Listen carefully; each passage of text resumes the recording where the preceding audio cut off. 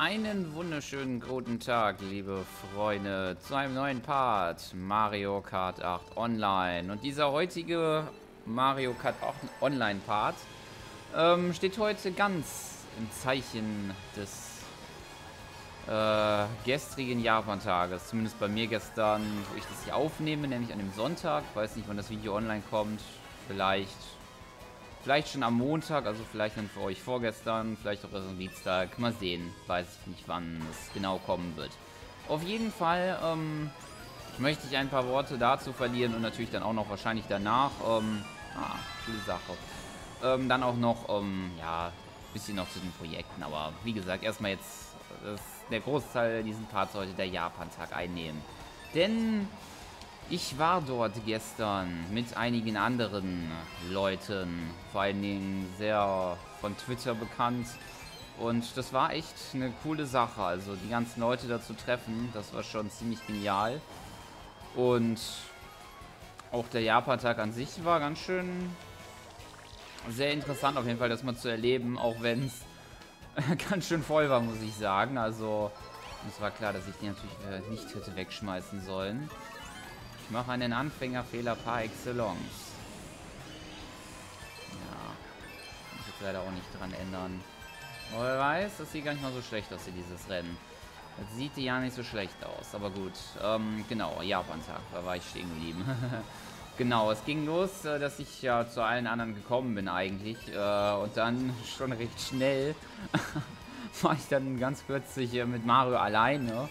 Ähm, äh, irgendwie hatten wir uns dann verlaufen gehabt und dann wollte Mario dann auch die, ähm, die Stände sehen und dann haben wir uns die erstmal angeguckt. Die anderen waren dann schon ähm, äh, zu einem Platz auf der anderen Rheinseite gegangen, wo dann später dann auch ein Foto gemacht wurde, was ich vielleicht auch am Ende nochmal einblenden werde. Mal gucken. Hat der gute Mario gemacht. Äh, oh, das ist als Thumbnail gekommen. Vielleicht habt ihr es gesehen. Ansonsten verlinke ich euch das in der Videobeschreibung. Mal sehen. Mal sehen, mal sehen, mal sehen. Jedenfalls war es ganz cool. Ähm, wobei ich sagen muss, bei diesen ganzen Ständen, da gab es irgendwie, ja, also die haben mich nicht vom Hocker gerissen, wenn ich ehrlich bin. Also ich war ja letztes Jahr auch schon bei der Gamescom und da gab es ja auch diese ganze Cosplayer, ähm, also Cosplayer gab es natürlich auch, aber das ähm, Merchandise und verschiedene japanische ähm, Kuriositäten, Plüschfiguren, alles mögliche, aber das kennt man irgendwie alles. Und vor allen Dingen bei einem Stand muss man sich auch noch anstellen. Und ähm, gefühlt war es so ungefähr 30, 40 Grad, also gut, es waren glaube ich insgesamt 20 von der Temperatur, aber es war recht warm. Ja, es war sehr warm und vor allen Dingen liegt das ja auch noch daran, erstmal war es ja schön warm und dann auch noch mit den ganzen Menschenmassen, die da waren, also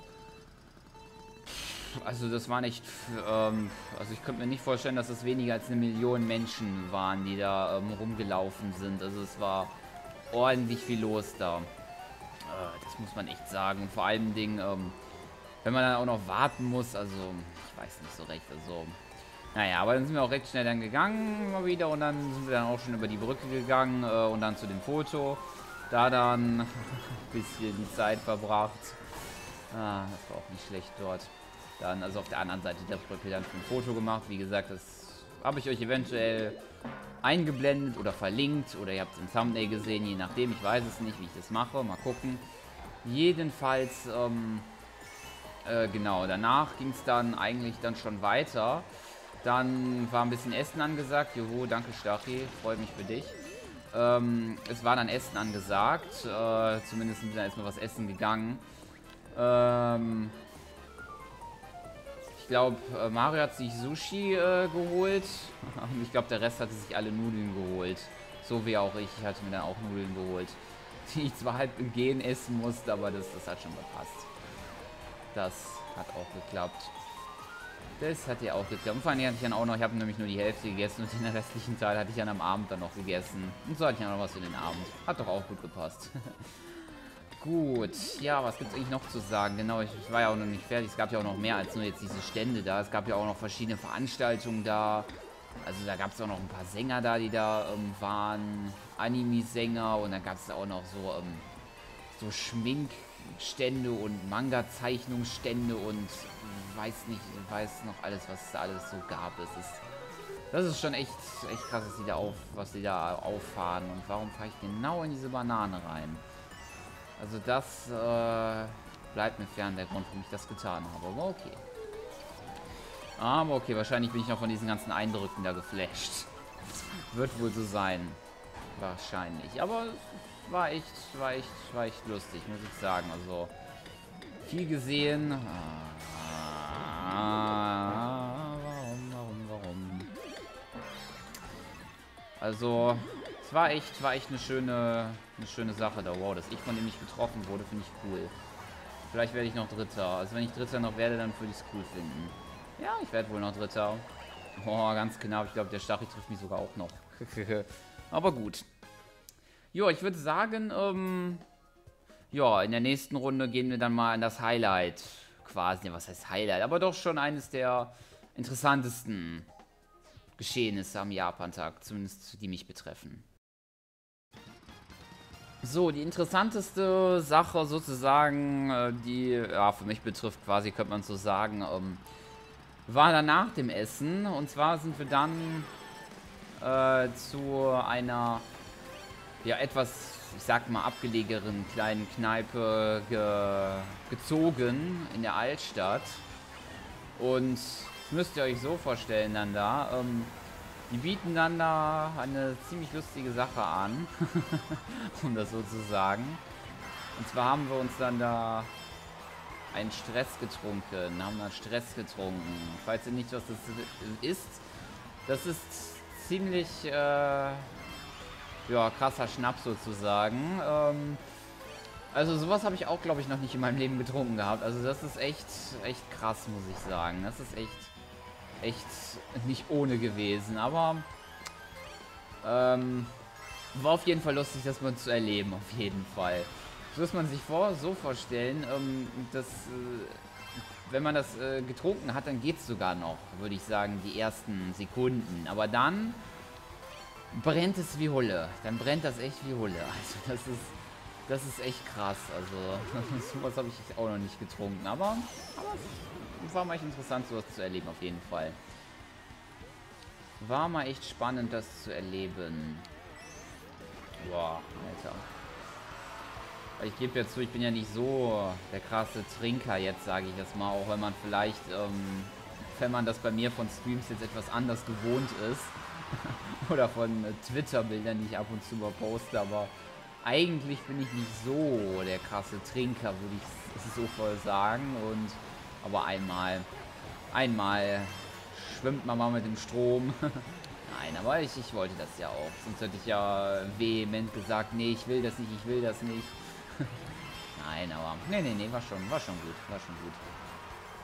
Was ich aber interessant finde, danach, um, ja, sind wir dann. Was hat eigentlich danach gemacht? Ich glaube, danach war eigentlich schon, schon fast Ende, glaube ich. Dann sind wir noch zur, ähm, äh, ja, gemeinsam zur Haltestelle dann gegangen und war krass auf jeden Fall dann auch, wie viel dann in der Altstadt auch los war, weil ähm, es war ja das ähm, dann am Abend noch das Pokalfinale Dortmund gegen Bayern und also BVB gegen FC Bayern München und ähm, da war auch ordentlich was los. Also wie viele da sitzen an den ganzen Lokalen war auch krass, wo es ja übertragen.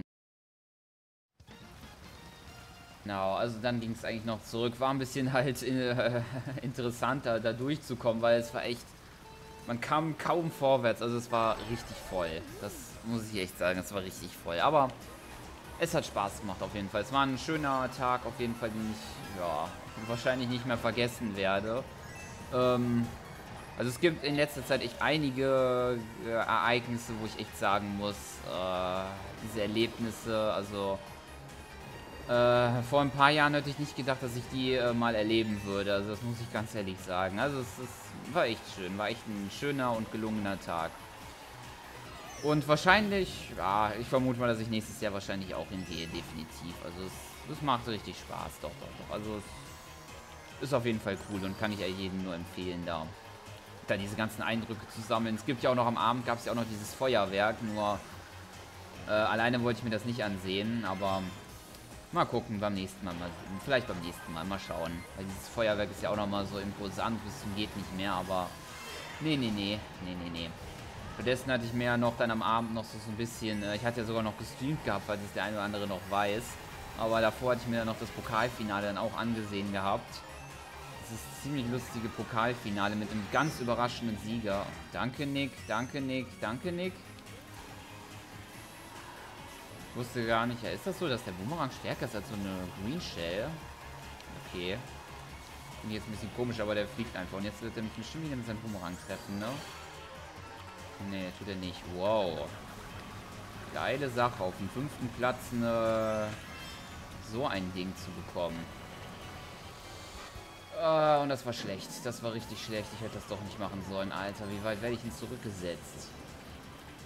Finde ich jetzt ja nicht so nett. Aber das war, das hätte ich nicht machen sollen. Ich dachte, ich könnte rüberfliegen. Alter, jetzt kriege ich noch einen, noch Goldpilz. Das finde ich ja cool. Das finde ich ja echt cool. Naja, wobei der Blitz finde ich jetzt auch gut. Weil der hat nämlich kein Item. Ich krieg nochmal Pilze. Aber echt, wie gesagt, das war echt ein gelungener Tag, der Japan-Tag. Und ich werde definitiv nächstes Jahr nochmal hinfahren. Äh, die ersten äh, Runden liefen so gut und diese jetzt hier eher semi-gut, semi-optimal. Aber naja, naja, fünfte ist auch noch okay den ich wohl bekommen werde. Oder auch nicht. Warum auch immer Pilze stärker sind als ein, Pilze stärker sind als ein Stern. Aber naja. Aber wie gesagt, der wird ja dann nicht langsamer dadurch. Warum auch immer, der wird nur einmal geschleudert und behält, behält die Geschwindigkeit. Naja, was soll's. Gut, ähm... Ja, mal gucken, ob ich, was mir noch einfällt, ob ich noch was zum Japan-Tag sagen kann, ob ich mir noch was einfällt. Mal sehen. Jo, also zum Japan-Tag ist mir jetzt tatsächlich nichts mehr eingefallen, was ich noch sagen könnte. Was ich euch noch empfehlen kann, ähm, der gute Mario hat im Übrigen auch noch einen Vlog gemacht und den werde ich, wenn der online ist, definitiv auch hier in diesem Video verlinken und natürlich auch auf ähm, YouTube und äh, Twitter teilen natürlich. Na gut, auf YouTube teilen ist ein bisschen schwer, aber definitiv werde ich es auf Twitter teilen. Und das solltet ihr definitiv reinschauen, wenn ihr dann mal selber noch einen Einblick bekommen wollt in den Japan-Tag und was da so alles an diesem Tag passiert ist. Gut, das letzte, was ich dann noch sozusagen in diesem Part noch ansprechen wollte, sozusagen ist so ein bisschen ähm, projektmäßig. Äh, was alles jetzt noch so kommen wird, ist ja halt quasi schon ein bisschen Standard bei mir. Und zwar, zum einen ist heute ist endlich soweit, dass ich verkünden kann, dass ich Pokémon Alpha Saphir endlich abgeschlossen habe dass endlich mal Zeit wurde. wann habe ich dieses Projekt begonnen? Vor einem, vor einem Jahr? Bestimmt schon länger, glaube ich. Und wann ist Alpha Saphir rausgekommen? Moment mal, ist, ist, das nicht erst, ist das nicht letztes Jahr rausgekommen? Ah, ich weiß nicht mehr, wann es genau rausgekommen ist. Aber ein bisschen ging dieses Projekt auf jeden Fall schon. Und es wurde Zeit, dass dieses Projekt endlich ein Ende findet. Und jetzt ist es soweit. Die Delta-Episode ist auch zu Ende gekommen. Vor allen Dingen hätte ich die auch schon viel früher machen können. Aber naja, es kommt halt immer wieder was dazwischen bei mir. Der oder andere weiß es ja bestimmt. Wow, krass Explosion. Der nimmt mir einfach das Item weg. Das finde ich nicht nett. Das finde ich eh ganz und ja nicht nett. Aber jedenfalls ist Pokémon beendet. Aber es wird schon recht schnell wieder weitergehen mit Pokémon. Und zwar am 1. Juni. Und da wird etwas Interessantes dann auch stattfinden, wo ich dann hier auch nochmal dann sozusagen empfehle, dass ihr dann da reinschauen könnt.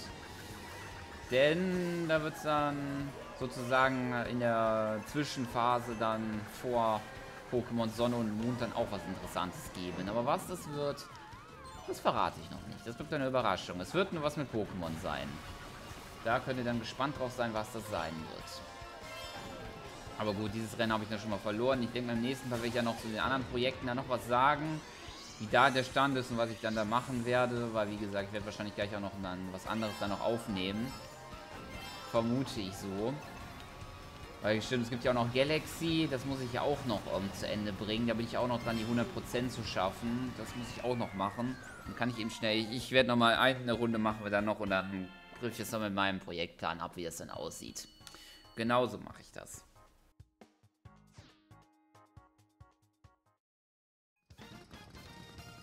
Genau.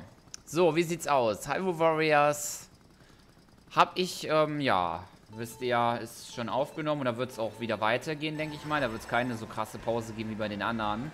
Das wird aber auch noch ein bisschen gehen. Ich denke mal, da bin ich so bei der Hälfte im normalen Hyrule Warriors. Aber es gibt ja noch das eine oder andere für mich zu zeigen in dem Spiel. Danke fürs Schubsen, Felo. Ähm, nämlich gibt es ja nämlich noch die Legends-Inhalte, die ich euch auch noch zeigen möchte. Äh, und dann natürlich halt auch die Charaktere in der Wii U-Version. Was ich aber nicht machen werde, was ja andere machen, sind die Abenteuerkarten. Weil die dauern so lange und ich habe schon genug Langzeitprojekte, die auf Ewigkeiten gehen. Und ich denke mal, wenn ich das machen würde, dann sitzen wir hier noch um 2017 da dran. Mindestens, wenn nicht sogar 2018 bei meiner Rate, wie Videos kommen. Und ich denke mal, nee, mache ich nicht. Eventuell würde ich diese Abenteuerkarten in Streams machen. Da könnt ihr ja schreiben, ob ihr da Lust zu hättet, ob ihr mal solche Abenteuerkarten sehen wollt. Weil da hätte ich schon Lust, in Streams zu machen, weil das kann man, finde ich, besser machen, als wenn ich die aufnehmen müsste. Aber das ähm, könnt ihr entscheiden. Dann. Dann hätten wir Splatoon Online. Das ist auch so ein Projekt, ähm, was ich ja eigentlich mit den News, wo ich ja sozusagen News immer packen wollte, aber hm, ist auch so eine Frage. Ich bin da auch überlegen, nicht mehr so viel Splatoon da bringen zu können. Also nicht mehr so in diesem Format mit News sozusagen, weil wie gesagt, äh, momentan finde ich passiert auch jetzt nicht so viele News, äh, wo, die man jetzt, finde ich, reinpacken könnte. Zumindest ist mir in der letzten Zeit ist nichts wirklich aufgefallen. Ähm, aber gut, muss ich mal sehen. Aber der eine oder andere will bestimmt, dass ich Splatoon weil mal wieder bringe und ja, mal sehen, wie viel Splatoon Parts noch mache. Aber so groß wird das nicht mehr werden. Dann Super Mario Maker. Da habe ich mir einfallen lassen, dass ich nach diesem Mario Kart 8 Part ähm, dann noch ähm, einen Mario Maker Part machen werde, nämlich die letzten Mario Maker Level, die mir zugesendet wurden, euch noch zeige, beziehungsweise das letzte Update wo, was ihr ja bei mir auch noch nicht gesehen habt, mit den neuen, mit den neuen besonderen Aktionen oder Dingern, die man bauen kann. Vom letzten Update, das werde ich euch noch zeigen. Und Mario Kart 8, da kann ich noch nicht sagen, wie lange das geht. Wann, ob ich das irgendwann beenden werde, das werden wir noch sehen. Aber ein Rennen mache ich dann doch noch, weil ich noch nicht fertig bin. Hihihi. So, die letzte Strecke für diesen Part heute. Die letzten Projekte, die ja noch im Raum stehen. Jetzt mal abgesehen von den NMAC-Projekten, die ich jetzt mal nicht nennen werde, die ja auch nochmal ganz unterschiedlich gestrickt sind. Hätten wir Super Mario Galaxy. Ist auch, wird auch nicht mehr so lange dauern, aber es kam jetzt auch schon wieder eine Zeit lang nicht. Das Problem ist, was ich da im Moment habe, ist dieses, ähm, diese 100% da zu sammeln. Das ist hm, eine Aufgabe, die ich nicht gedacht hatte, dass sie doch so ein bisschen länger dauert und so friemlich ist. Weil, der eine oder andere weiß es ja, wenn er meinen... Oh, habe ich den schön getroffen. Sorry, Andy. Sorry. Ähm, der eine oder andere weiß es ja, was ich ja bald ähm, als nächstes Mario-Projekt machen werde, da ja bald der Sommer ansteht. Ähm, habe ich nämlich vor, Sunshine zu machen und es würde sich nämlich dann anbieten, wenn ähm, dann Galaxy so langsam dem Ende sich entgegenneigt. Ja, der hat eine Dreier. Natürlich hat er drei Red Shells. Warum denn auch nicht? Warum denn auch nicht? Na, natürlich. Warum denn auch nicht? Genau, wie gesagt. Ich denke mal, das wird nicht mehr so lange dauern. Ich glaube, ich habe, mir fehlen, glaube ich, nur noch so circa 15 Sterne, glaube ich, wenn ich das so richtig im Kopf habe. Müsste ungefähr so sein. Also ich habe schon mehr als 100, glaube ich. Und es sind hier insgesamt 120, die ich holen muss. Das wird noch ein Spaß, aber ich werde mich ranhalten. Gut, Alpha Saphir, wie gesagt, gerade eben erwähnt, ist zu Ende. Und das war so blöd, dass mich dieser Stachel getroffen hat. Hätte der mich nicht getroffen, ey. Aber hätte, wenn und aber, bla bla bla. Gut, und zum letzten Punkt, der große Problemfall, Fire Emblem Sacred Stones. Ja, Sacred Stones. Fire Emblem Sacred Stones. Das ist eine, ja, eine Sache, hm, wo ich ein bisschen sage, hm, hm, hm, boah, dieses Rennen läuft so super, dass ich noch Fünfter bin. Naja, werde ich nicht mehr. Egal. Fire Emblem Sacred Stones, so wie ich, das Projekt läuft so, wie ich hier in diesem Rennen abschneide. Äh, ich bin überlegen, das komplett neu zu starten, aber da möchte ich am besten noch auf euch warten, wobei ich glaube, es werden sowieso nicht viele geguckt haben, aber falls ihr es geguckt habt, werdet ihr damit einverstanden, wenn ich das neu starte irgendwann oder ob ich das fortfahren soll. Weil ihr müsst wissen, mein Save State ist äh, sozusagen, oder mein Speicher besser gesagt, der ist im Eimer und ich muss ein bisschen was neu spielen. Und ja, ist ein bisschen, naja, naja, ne, naja. Aber gut, ich würde sagen, ich hoffe, dass euch dieser Part gefallen hat. War ja ein bisschen was los. Animal Crossing Dorf. Naja gut, das mache ich jetzt offscreen noch. ich hoffe, es hat euch gefallen, wünsche euch einen schönen Tag und bis zum nächsten Part von Mario Kart 8 Online. Bis dann und tschüss. Euer Jake.